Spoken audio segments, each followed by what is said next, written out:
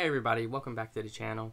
I uh, just wanted to remind y'all if you did not get the Dead Man's Tale Ornament Dead Man's Revenge yet, it is still in the store for 1,250 bright dust. I'm told that this ornament for some reason gives Dead Man's Tale extra range and also makes the ADS a lot better. So do be sure to pick this up. Once Witch Queen drops, you won't even have to do the presage mission anymore to get Dead Man's Tale as long as you own Beyond Light. Xur will be selling Dead Man's Tale and Hawkmoon with random rolls every weekend. So make sure to pick that up before it goes away Tuesday morning.